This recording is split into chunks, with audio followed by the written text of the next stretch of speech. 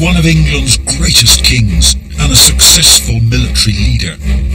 He was an inspiration to his men and personally brave. He would march his 6,000 strong army across northern France to trounce the flower of the French aristocracy, despite being outnumbered by five to one. Shakespeare was right to paint him as a hero, but that's not the whole truth about Henry V. He was also ruthless and blatantly flouted the rules of medieval warfare.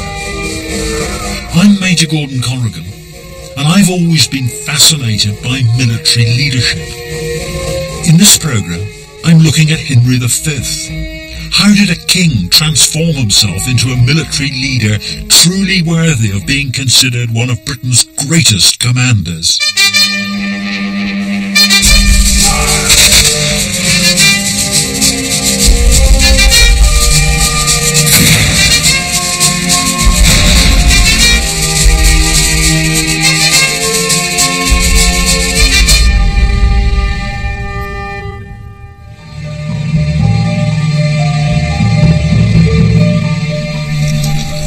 14th and 15th centuries, there was intense rivalry between England and France.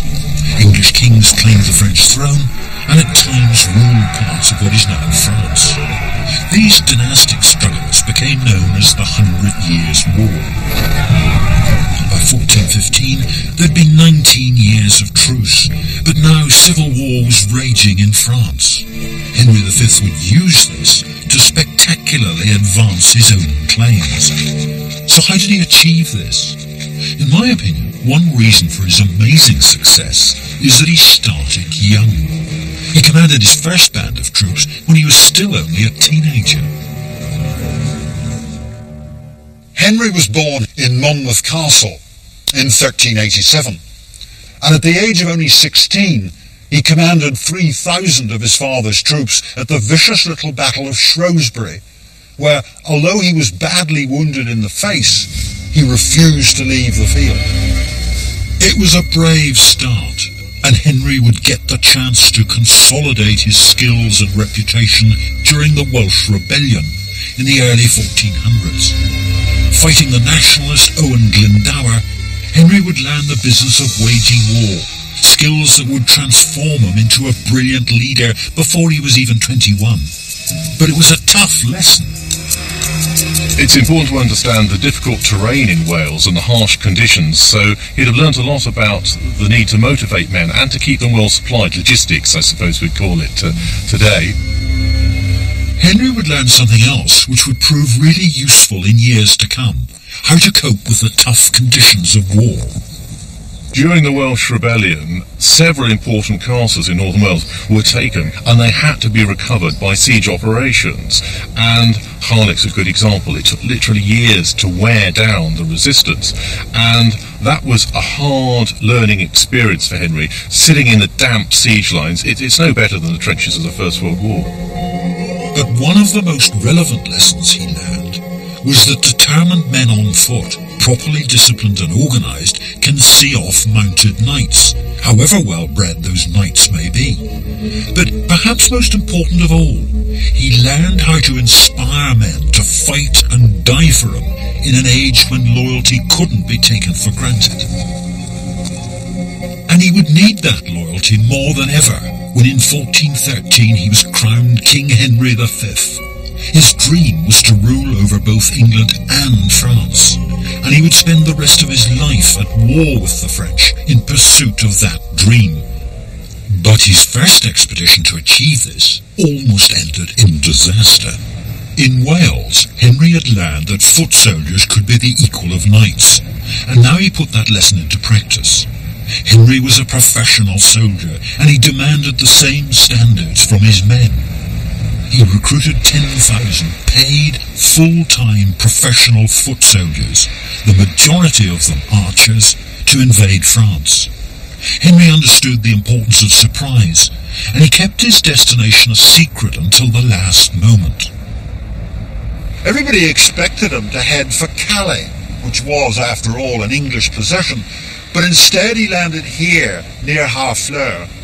Harfleur was one of the keys to Normandy and would give Henry a base from where he could conquer the rest of Normandy.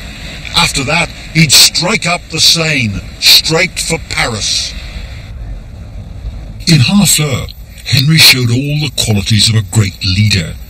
There isn't much left of the town's defences now, but in 1415 Harfleur was a very tough prospect. It was only a small town, but it had strong walls and fortified gateways surrounded by a deep moat. The French had no intention of surrendering to Henry, and a five-week-long siege began. In Harfleur, Henry showed his leadership by laying down the standards of behaviour for the campaign.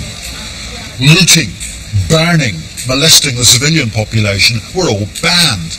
As Henry was claiming to be recovering his own lands, he could hardly tolerate the normal destructive tendency of the soldiers. Breaches of the rules were punishable by hanging. The men didn't like it, but it did get their grudging respect. I think what Henry has got is what we call nowadays grip. He's the first person, for example, to write a series of instructions for campaign, and it is tied in with his, his chivalry. He's the kind of person that you want as a warrior king. Now that means sometimes he can seem harsh and even cruel by modern standards, but he has a very keen eye, a tactical eye, and the ability to inspire his troops by personal example. And what happened next would test his leadership and their loyalty to the utmost. In medieval warfare, armies that kept on the move could stay reasonably healthy. But now, after a five-week-long siege, the army was hit by disease. It's a hallowed tradition of the Englishman abroad that he samples the local cuisine, eats far too much of it, and pays the penalty. And 1415 was no different. Henry's men tucked into the clams and the mussels and the oysters that grew in profusion in the waters around Harfleur. The trouble was that the oyster beds were right next to the town's sewage outlet, and large numbers of the men started to go down with dysentery. 2,000 men died, and another 2,000 had to be sent back to England. Cheers.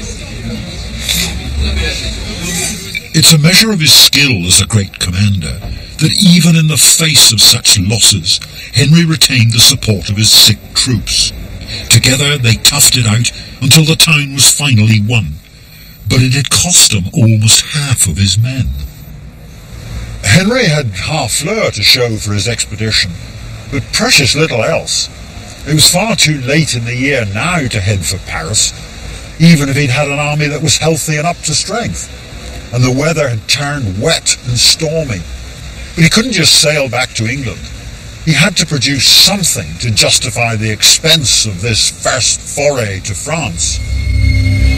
Henry decided on a radical and daring plan to march his troops 150 miles north to the English city of Calais and conquer whatever he could en route. It would be the ultimate test of his command of logistics and his ability to motivate and discipline his already depleted army. So he enforced the rules he had laid down in Harfleur with an uncompromising harshness. It's a measure of his strength of character and leadership that he chose to hang a prized asset, an archer, caught looting a church, rather than let discipline slip. Henry was being shadowed by a French army, which grew bigger and bigger as each day passed, and which was determined that this English upstart would never get home. They guarded all the crossings over the River Somme to block the route to Calais. And in their own words, they were caught like sheep in a fold. They were in a hostile land, they were outnumbered, they were sick, and they were running out of supplies. At this point, Henry could so easily have abandoned his men, but he didn't.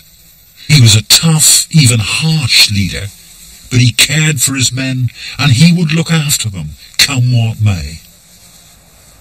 This is all that's left today of the castle at Boves. Henry came here and he did a deal with the castle garrison. He wouldn't burn the town at the bottom of the hill if they provided him with food. The English were given bread, but there was something else that they found in abundance at Boves, and that was wine. Now, the effect of large quantities of alcohol on empty stomachs would have been disastrous for discipline, and Henry forbade his men to have any. And when they asked why they couldn't fill their canteens, he said they would make bottles out of their bellies and get out of control. A great commander has to be a good disciplinarian, and once again Henry had proved the importance of it. In a cunning move, he now surprised the French with a sudden attack on a nearby town. It was a clever diversion, designed to hoodwink them into thinking he was intending to force a crossing over the Somme. In fact, he'd already found an undefended stretch elsewhere. Henry's army crossed here, near the village of Béthencourt, where the Somme was at its narrowest. Because crossing an obstacle made the army vulnerable with a consequent risk of a breakdown of discipline and a loss of control, Henry personally supervised the operation. The archers came across first, up to their waists in water, followed by the rest of the army. When some French troops did come up, it was far too late and the archers saw them off. Henry had succeeded brilliantly in slipping his bedraggled army across the Somme long before the French could react. Sixteen days after setting out from Harfleur, on a march that was supposed to last only a week, Henry and his army arrived in the village of Maisoncelles. He could see the French army a mile away in the village of Agincourt, blocking the road to Calais. The French army numbered 30,000 men. Henry had only 6,000. If he wanted to get home, he would now have to fight.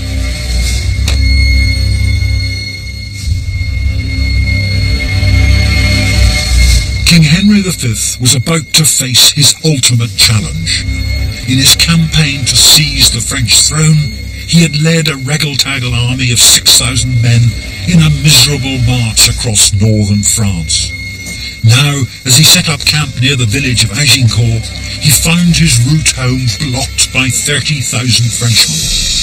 Now, more than ever, he would need the loyalty of his men. The few tents that the English army had were put up, and some of the senior commanders at least would have had a reasonably dry night. As for the rank and file, well, what's one more night in a wet and muddy field? But this is where Henry had to show what leadership is all about. The men were wet, cold, and hungry, and yet not one man slipped away. Nobody said they were too sick to fight. Nobody suggested surrender. How did Henry do it? Quite simply, they trusted him. They knew that he was with them, that he knew his business, that he shared the risks, and come what may, he would do his best for them. And of course, if they did try to slip away, he'd have hanged them.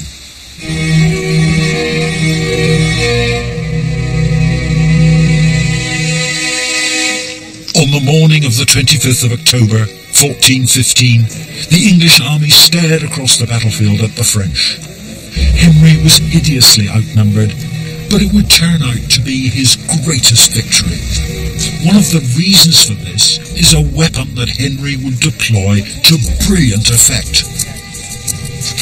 The longbow was consistently underrated by England's enemies, and so they were consistently killed by it. It had a maximum range of up to 300 yards and a rate of fire that wouldn't be equalled until the introduction of bolt-action rifles in the late 19th century. The secret was that English archers started practicing from childhood and they developed the eye for a shot and the muscles needed to operate a bow that was as tall as a man and needed a hundred pound pull to draw. So first lesson, I prepare an arrow in your hand. Yeah. Two fingers and help yourself. Keep the arrow on my knuckle. Two fingers, the ear will be the best. It's actually bloody difficult. Yeah, not terribly good. It's not so bad. very impressive all. It's not so bad for a new archer. Now, a good archer, how many arrows could he shoot in a minute? And during medieval time, uh, 10 or 12 in a minute. And it was like a gun machine. It was very quick. And you may imagine here on the battlefield, uh, more than 6,000 people, archers, in a minute, sending tons of iron on the heads of the knights. There are two very different armies at Agincourt. The English army was made up of full-time professional soldiers, whereas the French were just out for a day's sport with nobody wanting to take orders. The English army is commanded by King Henry V in Passon, in the centre, and he's flanked by dismounted men-at-arms and armoured knights. They're interspersed with archers, and in addition, there are two large wedges of archers on each flank. Altogether, about 6,000 men, of whom 5,000 are archers. On the French side, the French king, Charles VI, well, he's not here. He suffers from the unfortunate delusion that he's made of glass. And that makes military campaigning a bit difficult. So he's off in Paris. And reality, nobody's commanding the French army. They've got men-at-arms as well, in three lines. They've also got cavalry, with a contingent on each flank. They've got crossbowmen, but they're near the back, sandwiched between the second and third lines of men-at-arms. Altogether, about 30,000 French soldiers, outnumbering the English by five to one. Henry knew he had only two options, go on the attack or surrender. But he wasn't one for giving up, even with the odds stacked against him. For a long time, the two armies stood on the field of Agincourt, waiting for the other to make the first move. And then, at about 1100 hours, Henry decided that he would have to provoke the French into attacking him. He ordered the royal banner forward, and the whole army began to advance. They moved quite slowly. Henry conspicuous in the centre in his golden helmet and his crown. And when they got to about here, just within arrow range of the French, Henry ordered a halt. 300 yards away, there were 30,000 Frenchmen. And then Henry ordered his archers to unleash an arrow storm at long range. The French couldn't reply because their crossbowmen were at the rear, and the arrows so incensed the French cavalry that they launched an all-out attack on the English line. It was exactly what Henry had been waiting for. 5,000 arrows every six seconds rained down, and hardly a single French horseman got anywhere near the English lines. Then the French infantry advanced, and Henry ordered the archers to unleash yet another deadly shower of arrows. Henry was a commander who led from the front, and now he thrust himself into the thick of the fighting. But still the English line was forced slowly back. Henry's decision to recruit archers, who trusted and respected him as a leader, now paid off. They were multi-skilled killing machines, prepared to do whatever their king demanded to win the battle. Casting aside their long-range weapons, they drew their knives and launched themselves into the thick of the fighting. The first French line recoiled and ran straight into the second line. It was chaos.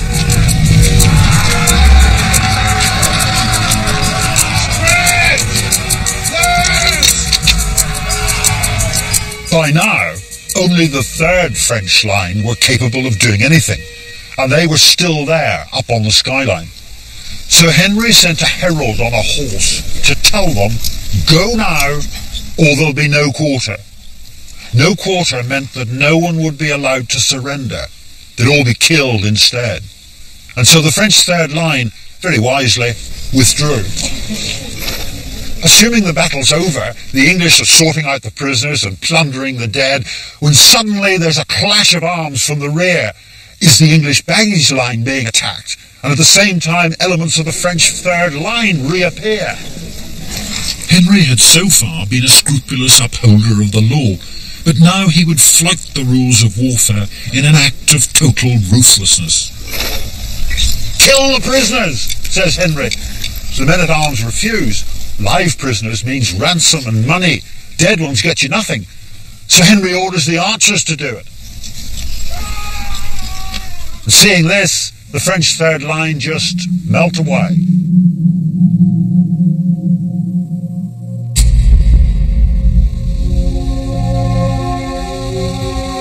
It's believed that some of the French dead were buried here by local monks. But why did Henry have the prisoners killed? It was a war crime then, as it would be today. Perhaps if we put ourselves in Henry's shoes, we can see the logic. Although he's seen off most of the French army, he's still greatly outnumbered. And if he's attacked again by that third line, and all these prisoners milling about pick up discarded weapons, then he can still lose the battle. So what he did was ruthless, but necessary nevertheless. The road to Calais and home was now open. Agincourt was a masterpiece of Henry's leadership and professionalism. The French death toll was massive, around 10,000 including half the nobility, at a cost to the English of 300 dead. So how did a greatly outnumbered raggle-taggle army of cold, hungry and feverish soldiers trailing vomit and diarrhea behind them in a foreign land managed to trounce the flower of the French aristocracy? Well, more than anything else, the English had a leader a king who got in amongst them, who understood them, who shared their dangers, who inspired and motivated them, and who understood the business of waging war. The English used archers, whereas the French refused to believe that anyone other than a gentleman could have any decisive effect on the field of battle. But none of these would have made a difference if the English hadn't had faith in their leader, King Henry V. Agincourt wasn't the end of Henry's war, but his incredible victory so terrified the French that never again would they face him in open battle. Henry was eventually recognized as heir to the French throne in 1420, but his moment of glory was short-lived. He died two years later. We can't tell what might have happened if Henry had lived. Would Elizabeth II today rule over Great Britain and France? Well, probably not.